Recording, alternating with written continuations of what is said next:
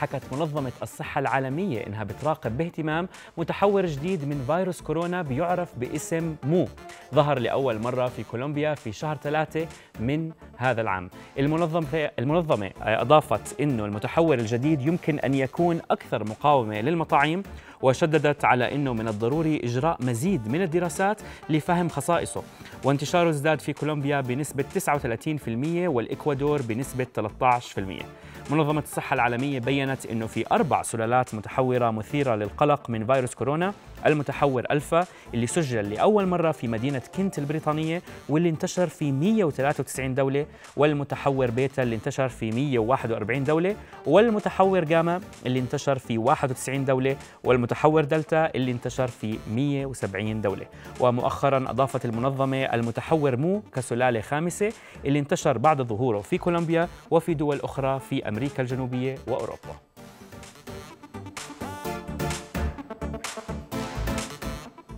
تصدر هاشتاج وزارة الصحة تحرم البدون موقع تويتر في الكويت. طبعا وسط حديث عن إقصاء أشخاص من فئة البدون من مكافآت الصفوف الأولى.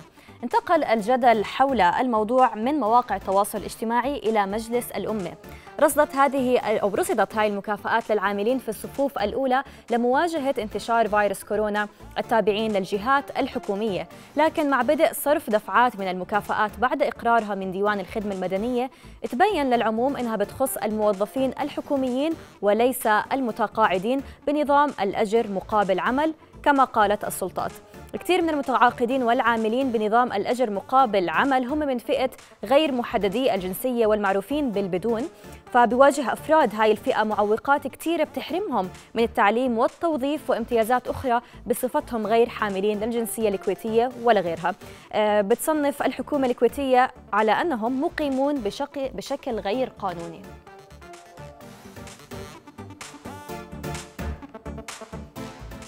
طالبت منظمة هيومن رايتس ووتش السعودية بوقف تسريح موظفين يمنيين الأمر اللي قد يدفعهم للعودة لبلادهم المنكوبة بأسوأ أزمة إنسانية في العالم. وحكت المنظمة أن السلطات السعودية بدأت من تموز الماضي إنهاء أو عدم تجديد عقود موظفين يمنيين وهو اللي رح يجبرهم على العودة إلى الأزمة الإنسانية في اليمن ودعت المنظمة السلطات السعودية لتعليق هذا القرار والسماح لليمنيين بالبقاء في السعودية مع القدرة على العمل. وتشكل التحويلات المالية للموظفين والعمال اليمنيين في السعودية شريان حياة للآلاف من اليمنيين واقتصاد بلادهم المتداعي. وقدر البنك الدولي في 2017 قيمة هذه التحويلات بنحو 3 مليارات دولارات سنوياً. وشكلت التحويلات المالية الواردة من السعودية 61% من التحويلات الخارجية في 2018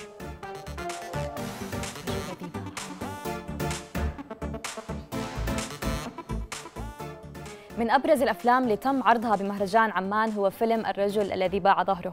تفاصيل عنه وعن تجربة عرضه بالتقرير التالي.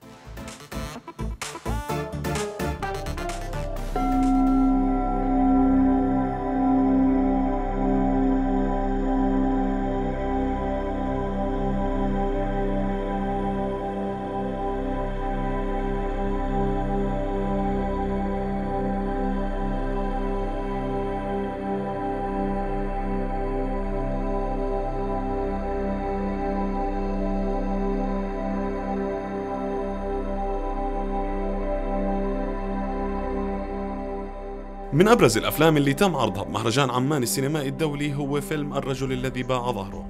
الفيلم بيحكي عن قصة اللاجئ السوري سام اللي دفعه جحيم الحرب في بلده للفرار إلى لبنان.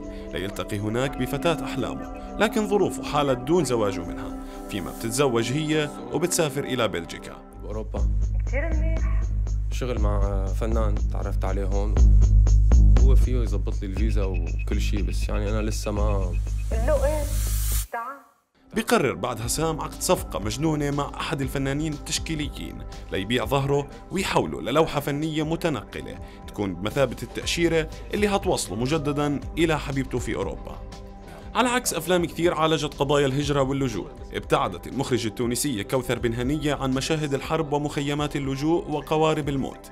لتطرح قضية مهمة بتتعلق بهتك كرامة الإنسان وتحويله إلى بضاعة تباع وتشترى باقتحام عالم الفن التشكيلي المعاصر. هذا شغلك يا سن؟